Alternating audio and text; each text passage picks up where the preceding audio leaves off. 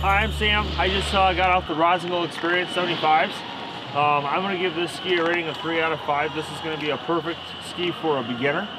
Um, no sheets of titanium in it. The actual ski itself is a wood core. It is a very soft ski, so it's going to be a very forgiving ski and very fun for somebody that is a beginner that's just getting on the snow for the first time. So like I said, 3 out of 5, perfect for a beginner.